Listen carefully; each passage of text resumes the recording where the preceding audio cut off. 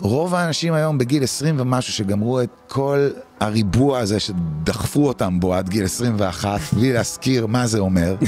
אתה תשאל אותם, אחי, מה בא לך לעשות בחיים? הרבה אין להם תשובה. בן אדם מ-20 ומשהו, אין לו תשובה לדבר הזה, הוא לא יודע. זה, זה חוסר חיבור לעצמי, או שזה פשוט, אתה מדבר על להיות בלי תוכנית. בגיל 20 למצוא את עצמך ללא הדברים שאתה אוהב. חלקנו מקבלים את המתנה הזו שבו אתה פשוט יודע, אתה יודע, בגיל צעיר, אבל uh, הרבה לא, וכדאי לצאת לברר את זה כדי שחייך יהיו, ייטיבו איתך ותהיה שמח בהם.